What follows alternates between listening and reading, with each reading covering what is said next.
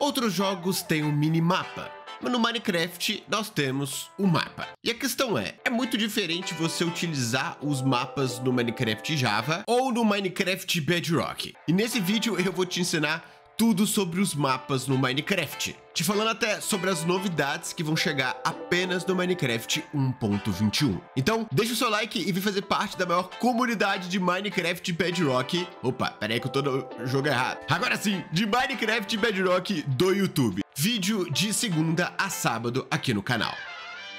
E como eu te falei, existem diferenças dos mapas aqui no Minecraft Java no Minecraft Bedrock. Por exemplo, aqui no Minecraft Java você consegue marcar os lugares no seu mapa, mas só aqui no Bedrock você consegue criar um novo mundo e já spawnar com um mapa na mão. Mas antes da gente falar sobre essas diferenças entre o Minecraft Bedrock e o Minecraft Java, primeiro a gente precisa de entender que existem vários tipos de mapas que não existiam antigamente. Por exemplo, uma forma que você pode obter os mapas é criar esses mapas. Para isso, você vai precisar de cana de açúcar para você poder fazer o papel e barra de ferro com pó de redstone para você construir a bússola. Até porque aqui no Minecraft Bedrock você pode fazer o mapa em branco ou você pode construir o mapa do localizador vazio. A diferença é que o mapa em branco você vai utilizar sua folha e aqui no mapa do localizador vazio você vai utilizar a bússola. Além disso, esses mapas também eles são um pouquinho diferentes. Você vê que na esquerda eu consigo me ver andando ali, né? Então tem um ponto ali no mapa que mostra o jogador. Se você tiver no multiplayer, você consegue até ver outros jogadores também. Enquanto no mapa normal, que está na nossa direita, você não consegue ver nada. Então é só um mapa mesmo sem mostrar nenhum ponto de localização, nenhum player ali para você. E aqui no Java, você só precisa fazer as folhas, a nossa bússola, e agora você vai conseguir aí fazer o seu mapa em branco, tá? Então se a gente tentar fazer outro mapa que não vai funcionar, quando eu coloco a bússola vai funcionar e aí a gente vai ter aí, ó, como se fosse um mapa do localizador lá no Minecraft Bedrock, só que aqui no Java é conhecido apenas como um mapa. E aqui no Java você também pode colocar ele na mão esquerda, igual eu coloquei lá no Minecraft Bedrock. Ah, e quem é gentil, entra no grupo de avisos no Telegram do Dil. Fique sabendo sobre todas as ferramentas como a calculadora de portais do Nether, lançamento de vídeos, atualizações na textura e novos projetos incríveis no nosso grupo do Telegram. O link tá aqui na descrição, então corra e entra lá. E além dos mapas que podem ser criados, você também consegue encontrar mapas de estruturas no Minecraft. Sempre que você encontrar um shipwreck, que são esses destroços de navios, você tem a chance de encontrar um mapa de tesouro aqui nesse baú. Ó, a gente não deu essa sorte aqui nesse baú. Será que eu vou ter a sorte aqui embaixo? Aê, agora sim. E aqui você consegue encontrar então o mapa do tesouro. Os mapas do tesouro eles são completamente diferentes do que os mapas que a gente cria, porque esse mapa aqui ele só mostra a localização de um tesouro. Então ele vai ser útil até você encontrar o seu tesouro e depois ele não vai servir para mais nada. O seu tesouro ele tá demarcado aqui no mapa com esse X. E basicamente é só você seguir esse mapa até você conseguir aqui se localizar embaixo desse X e aí agora é procurar o seu tesouro aqui enterrado nessa área. E para quem joga Minecraft Bedrock, no meu compilado, a pessoa, inclusive, ela consegue aí achar o tesouro muito mais fácil se ela tiver aqui um suporte de armaduras e um mapa do tesouro. Mas eu não quero te confundir nesse vídeo, então dá uma olhada nesse outro aqui para você entender tudo que você pode fazer com a minha textura do Minecraft Bedrock. Além disso, você consegue encontrar outros tipos de mapas nas vilas. E aqui você vai precisar dos cartógrafos. Os cartógrafos, eles conseguem trocar com você mapa do explorador do oceano, que mostra aí a localização de templos do oceano, você também vai conseguir encontrar o mapa de explorador da mata, que basicamente é onde você consegue encontrar mansão. E para você conseguir, basicamente é só trocar esmeralda e bússola com esse carinha que você vai conseguir obter esses outros tipos de mapas. Além disso, você consegue obter os mapas em branco, tá? Não são os mapas do localizador, são os mapas em branco com os cartógrafos. Então é uma outra opção além de você craftar, é você fazer a troca para conseguir o mapa em branco e depois você pode utilizar aí uma bússola para poder transformar esse mapa em branco para um mapa do localizador. E se você der sorte, você também pode encontrar mapas desconhecidos aqui dentro do baú do cartógrafo em uma vila. Então, a gente tá numa vila da taiga, a gente conseguiu encontrar esses dois mapas aqui, ó. Basicamente, se você colocar um mapa em branco e uma bússola, no Minecraft Bedrock você vai conseguir um mapa do localizador vazio. Ah, e é muito importante ressaltar que no Minecraft 1.121 a gente vai ter uma grande atualização, mas eu vou falar sobre isso mais tarde. E aqui no Minecraft Java você também pode conseguir os mapas com o efeito Herói da Vila, que você consegue após acabar com uma raid e entrar em uma área conhecida como vila. Os aldeões vão começar a te dar presentes e aí você pode ganhar um mapa deles. E para você explorar todas as possibilidades que você pode fazer com o mapa, você vai precisar de uma bancada de cartografia, que é esse bloco aqui. E para você fazer uma bancada, você vai precisar de quatro tábuas e dois papéis em cima. E essa bancada, ela vai te abrir um mundo de possibilidades. Aqui no Minecraft Bedrock, você pode inclusive renomear o seu mapa na mesa de cartografia. Enquanto aqui no Minecraft Java, por mais que a receita seja a mesma, a interface ela é um pouquinho diferente, tá? Mas a única coisa que muda é o fato de aqui no Minecraft Java você não conseguir renomear o seu mapa. Não através da mesa de cartografia, mas você consegue fazer isso através da bigorna. E antes da gente explorar ali o mundo que tem aqui dentro da bancada de cartografia, é importante ressaltar que existem cinco níveis de mapa. E o que, que são esses níveis, Jill? Bom, a gente chama de nível o zoom que o mapa dá. Quando você faz aí o seu mapa, você vai ver que essa é a área que o mapa vai cobrir. Essa área aqui é considerado o nível 0. A gente está falando de 128 por 128 blocos. Agora, se a gente quiser enxergar mais de cima, ou seja, ter um zoom menor do seu mapa, é só você colocar o seu mapa aqui na mesa de cartografia e colocar um papel. Dessa forma, você vai diminuir o zoom. Olha só o que vai acontecer aqui, ó. Você vai diminuir o zoom do seu mapa e limpar o seu mapa. Então, ó, esse quadrado aqui é o nível 0, que é 128 por 128, e você vai aumentar o seu mapa no nível 2. Você vai aumentar o seu mapa para 256 por 256. Esse mapa de 256 por 256 vai pegar uma área muito maior, porque você dobrou a quantidade de blocos.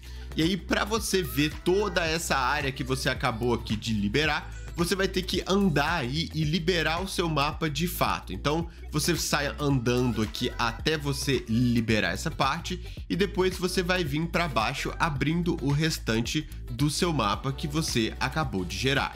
Agora, olha a diferença do meu mapa que tá na esquerda, que é o nível 1, pro meu mapa que tá na direita, que é o nível 0. É um zoom muito maior, né? Só que se você quiser, você ainda pode aumentar mais o zoom, tá? E sempre que você for dar zoom, você tem que preencher o seu mapa. Você não pode utilizar um mapa do localizador vazio. Então você pode fazer isso para ter o nível 1 e você também pode fazer mais um zoom para você ter o nível 2. Então esse é o nível 0, esse é o nível 1, o nível 2 e você pode chegar até o nível 4. E qual que é a diferença entre eles? O nível 0 são 128 por 128 blocos. O nível 1 são 256 por 256. O nível 2 são 512 por 512 blocos. Então você sempre vai duplicando. Logo, o nível 3, 1024 por 1024 e por último, 2048 por 2048 blocos. Bora ver na prática? E aqui a gente consegue ver a diferença de zoom exatamente entre eles. Enquanto aqui nesse primeiro a gente está no nível 0, aqui nesse último a gente está no nível 4, que é o nível máximo. E aqui vocês podem ver que eu nem preenchi completamente o mapa, né, galera? Porque eu queria mostrar exatamente para vocês a diferença. Ó, esse segundo mapa é o nível 1, e olha só o tamanho que essa vila já fica. Enquanto no primeiro, essa vila é muito maior, no segundo, ela é muito menor. Agora, no terceiro, ela é praticamente um risquinho no mapa. No quarto, fica menor ainda, galera. O tamanho da vila onde tem ali aquele símbolo verde é onde eu estou. E no quarto mapa, olha só o tamanho, cara. É como se você tivesse liberado apenas um quarto ali do seu mapa inteiro, sendo que tem uma outra região que está toda transparente aqui que você precisa de explorar para poder abrir o seu mapa. E aí eu recomendo o seguinte: use mapas grandes quando você quer fazer mapeamento de biomas para você entender tudo que tem em volta aí da sua base e use mapas médios para poder fazer aí a marcação, o seu mapa mundi no seu mundo, que eu vou te mostrar como você pode fazer daqui a pouco neste vídeo. Mas se você quer simplesmente aí mostrar a sua base, eu recomendo que você use mapas menores, porque assim você vai ter mais detalhes e vai ficar muito mais bonito. Lembre-se que eu te falei que no Minecraft Bedrock as coisas são diferentes. Então, além de você poder dar o zoom na mesa de cartografia, você também pode dar o zoom aqui na bancada. E para fazer isso é só colocar o mapa aqui no meio e o papel em volta. Dessa forma, você vai aumentar o nível do zero para o nível 1. Agora, uma outra coisa que você pode fazer é duplicar mapa. Ou seja, você vai querer dois mapas iguais a esse aqui. Então você vai colocar o seu mapa e vai colocar aqui embaixo um outro mapa do localizador vazio no caso do Bedrock ou um mapa no caso do Java. E aí você vai conseguir dois mapas idênticos a esse. Mas no Minecraft Bedrock você também consegue fazer isso aqui na bancada de trabalho, colocando o seu mapa e um mapa do localizador vazio. Inclusive, você também consegue fazer aqui na bigorna, colocando o seu mapa e um mapa do localizador vazio. Ah, e o legal é que você também pode duplicar o mapa do oceano, da mansão ou do tesouro utilizando uma bancada de trabalho. É só você colocar aqui o seu mapa do explorador e colocar um mapa em branco. Então você vai conseguir duplicar esse mapa original. Agora, vamos supor que você tem esse mapa que você quer que nenhuma alteração que você faça atualize, né? Porque é o seguinte, ó, se eu vier aqui e simplesmente destruir uma casa ou destruir uma coisa, como essa aqui, ó, o que, que vai acontecer com o meu mapa? Ele vai atualizar. Olha lá, ó, acabou de atualizar. Antes tinha telhado e agora não. Mas vamos supor que eu quero um mapa antigo, justamente para poder ver como era a minha base e como está se transformando a minha base. Você consegue simplesmente bloquear esse mapa aqui. Como? Basicamente você vai entrar aqui, ó, numa mesa de cartografia, vai colocar o seu mapa e vai colocar um painel de vidro, ó. Dessa forma, você vai bloquear o seu mapa. Então aqui a gente tem o mapa agora. E se eu vier aqui, ó, eu não consigo mais me ver nesse mapa, tá? Então ele deixa de ser o mapa do localizador. E se eu vier aqui, por exemplo, e destruir, ó, essa parte aqui de cima, teoricamente deveria atualizar o meu mapa, mas como eu bloqueei ele, ele vai continuar intacto. E se eu pegar outro mapa aqui que não tá bloqueado, ó, ele tá diferente do meu mapa que está bloqueado. E aqui no Java tem uma coisa muito legal que não tem no Bedrock, que é o seguinte, se você pegar o estandarte e renomear ele como base, você pode fazer uma coisa simplesmente incrível com o seu mapa. Ó. Eu tô aqui com o mapa da minha base, né? E eu quero marcar que aqui onde eu tô é ela. Então eu vou colocar esse estandarte no chão ou colocar em qualquer outro lugar e vou clicar em cima do estandarte com o meu mapa. Dessa forma, eu vou marcar ali no meu mapa, ó, escrito base, tá? Então isso é muito legal para você fazer um mapa mundi, por exemplo. Se você quiser desmarcar, é só você clicar em cima novamente. Então isso é muito prático e deixa os mapas mundis realmente bem interessantes. Agora, aqui no Bedrock, a gente consegue simbolizar de uma outra forma. Quando a gente tem um mapa que está numa moldura, a gente consegue ver esse mapa do localizador ali no nosso lado esquerdo com o símbolo verde, enquanto a gente, ó, que está em movimento, é o símbolo branco. Então, dessa forma, a gente consegue ver onde a gente tem mapas mundis, por exemplo, ou outros mapas que estão aí presos em alguma moldura, mas a gente não consegue colocar o nome igual no Minecraft Java. E agora que você sabe quase tudo sobre os mapas no Minecraft, tá na hora de você aprender a fazer o famoso mapa mundi. Mapa mundi é o nome que se dá para quando você faz ali um mapeamento da sua área no Minecraft. Então, você vai precisar de algumas paredes ou blocos que é o lugar onde você vai construir o seu mapa mundi. Eu recomendo que você faça aí numa área de 9, então fica um mapa mundi muito legal, e você vai colocar moldura em todos esses blocos ou nessas paredes. Aqui você não consegue ver a moldura porque eu estou utilizando uma textura. Mas aqui, ó, a gente consegue colocar o item aqui. Agora a gente vai pegar nove mapas, o mapa do localizador vazio, se você estiver jogando aqui no Bedrock, e vai fazer o seguinte, ó. Vamos ativar aqui o nosso primeiro mapa, e aqui onde a gente ativou vai ser o nosso mapa central. Então, esse aqui vai ser o centro do nosso mapa mundi. O que, que a gente pode fazer agora, tá? A gente pode vir aqui na nossa parede e colocar esse mapa aqui. A gente precisa de preencher toda a região em volta. Para isso, a gente vai colocar esse mapa central aqui na nossa mão esquerda. Vamos pegar outro mapa e você pode ver, ó, que quando a gente está mirando para lá, a gente está mirando para o norte, então a gente pode ver até na direção da seta, para o lado direito, leste, para o lado esquerdo, oeste e para traz o sul. Esses são os pontos cardeais que você consegue ver através do mapa. Então agora ó, a gente vai para a direita, ou seja, a gente vai para o leste. E quando a gente está muito fora do mapa, a gente pode ativar o outro mapa que você vai ali, ó, ó, já vai ter a outra área. Então aqui, ó, você tá no mapa da direita, mostra a seta no mapa da esquerda, mas, ó, a gente já tem uma área diferente. Com esse mapa aqui da nossa direita, a gente tem que ainda fazer esse mapa aqui da frente, então a gente vai, ó, a gente vai sair andando aqui até entrar numa nova área e vamos ativar um outro mapa. Esse mapa que a gente vai abrir ele para ele ficar completamente preenchido.